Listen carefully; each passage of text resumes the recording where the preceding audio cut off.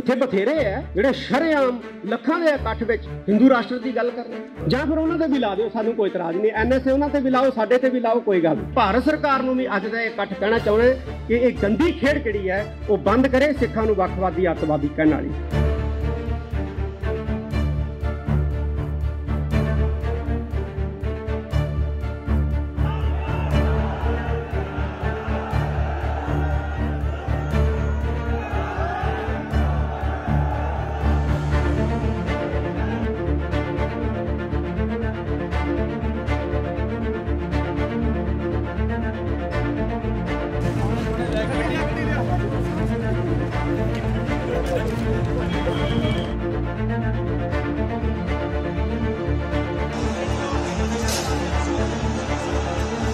ਉਹ ਡਿਪਲੋਮੈਟਿਕ ਤੌਰ ਤੇ ਸਾਡੇ ਉੱਪਰ ਹਮਲਾ ਕਰ ਰਹੇ ਨੇ ਔਰ ਸਾਨੂੰ ਡਿਪਲੋਮੈਟਿਕ ਢੰਗ ਨਾਲ ਹੀ ਉਹਨਾਂ ਹਮਲਿਆਂ ਦਾ ਜਵਾਬ ਦੇਣਾ ਚਾਹੀਦਾ ਫਿਰ ਅਸੀਂ ਕਾਮਯਾਬ ਹਾਂ। ਜਿਹੜੇ ਬੇਕਸੂਰ ਨੌਜਵਾਨ ਸਾਡੇ ਫੜੇ ਨੇ, ਅਸੀਂ ਉਹਨਾਂ ਦੇ 100% ਨਾਲ ਆ ਔਰ ਸਰਕਾਰ ਨੂੰ ਅਸੀਂ ਇਹ ਤਾੜਨਾ ਕਰਦੇ ਹਾਂ ਕਿ 24 ਘੰਟਿਆਂ ਦੇ ਅੰਦਰ ਅੰਦਰ ਸਾਡੇ ਮੁੰਡੇ ਛੱਡੇ ਜਾਣ।